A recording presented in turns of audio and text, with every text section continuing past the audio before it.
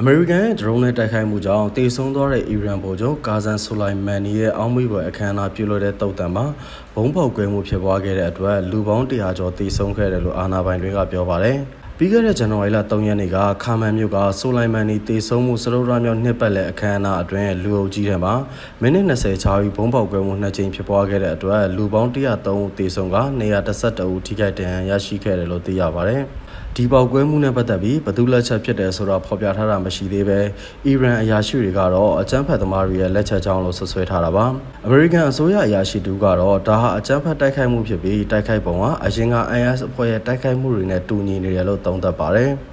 လူအစုလိုက်ပြုံလိုက်တေဆုံးခဲ့ရတဲ့ပောက်ကွဲမှုအတွက်လက်စားချေသွားမယ်လို့အီရန်ခေါင်းဆောင်အာရာတိုလာအလီခါမီနီကကြွေးကြော်ထားပါတယ်။ ဒါအပြင်တိုက်ခိုက်မှုနဲ့ပတ်သက်ပြီးရုရှားနဲ့တူရကီအပါအဝင်နိုင်ငံတချို့ကပြစ်တင်ရှုတ်ချထားသလိုကုလသမဂ္ဂအတွင်းမှုချုပ်အန်တိုနီယိုဂူတာရက်စ်ကလည်းဖောက်ခွဲမှုရဲ့တာဝန်ရှိသူတွေကိုတာဝန်ခံခိုင်းရမယ်လို့ဆိုပါတယ်။အီရန်ဟာ IS အပါအဝင်အကြမ်းဖက်အဖြစ်သတ်မှတ်ခံထားရတဲ့အဖွဲ့တွေရဲ့တိုက်ခိုက်မှုတွေကိုအရင်တည်းကခံနေရတာဖြစ်ပြီးဒီဒီချိန်မှာတော့လူသေဆုံးမှုအများဆုံးဖြစ်ခဲ့တာပါ။ အရင်တိုက်ခိုက်မှုတွေကိုတော့အီရန်အရာရှိတွေကအစ္စရေးပေါ်အပြစ်တင်ခဲ့ပေမဲ့ဒီတိုက်ခိုက်မှုမှာတော့နိုင်ငံခြားကပါဝင်ပတ်သက်တဲ့လက္ခဏာမတွေ့ရဘူးလို့ဆိုထားပါတယ်။ခါမန်မျိုးအာဇာနည်တုံ့တန်စီတွားရလမ်းတစ်လျှောက်မှာဖောက်ခွဲရေးပစ္စည်းတွေတက်ဆင်ထားတာဖြစ်ပြီးအကြမ်းဖက်သမားတွေကအဝေးထိန်းစနစ်နဲ့ဖောက်ခွဲခဲ့တာဖြစ်တယ်လို့အီရန်အရာရှိတွေကပြောထားပါတယ်။